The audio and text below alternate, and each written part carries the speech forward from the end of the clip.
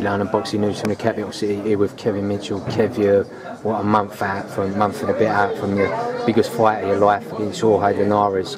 How's training camp going, sir? Training camp's been very hard. You know, it's brutal. Tony Sims has been training the life out of me, Yeah. getting me in the best shape of my career, and um, been enjoying it. You know, with the boys, Ricky Burns, Johnny Ryder, Ohara Davies, we're in there working away, grafting every day, and it's what it is, you know. Yeah.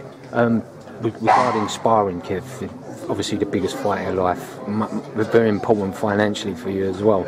Um, we, so you bringing in any different sparring for this fight, or going Yeah, we're going abroad to maybe? Texas. We're going to Texas for a month, and we'll be out there sparring with a lot of Mexicans and a lot of different styles. So it'll be a lot of hard graft. So yeah, it'll be different. Yeah. So when when do we see you? you- Do we see you go to Texas and then literally come back and fight? We'll be back roughly, but I think it's about three weeks before the fight. Yeah.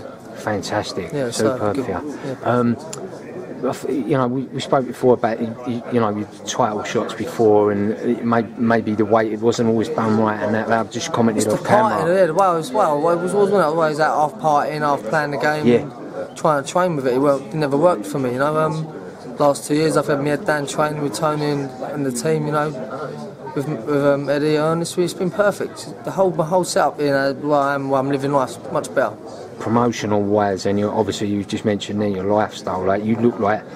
Don't get me wrong, you've, you've always been a massive talent, but you look like you've got a different, renewed vigour in your eye now. Yeah, you know, different game plan, different, different insight to things. Now I'm older, maturer. yeah. The team around me is a lot more stronger, 100%, a lot more better the way I am, and just, it all matches, you know. Feel Yeah. safe again. we touched on it just there, the financial aspect of uh, fighters, and it doesn't get brought into the news enough in boxing. That you're not in it to get a pat on the back or gain people's, you know, respect and acknowledgement.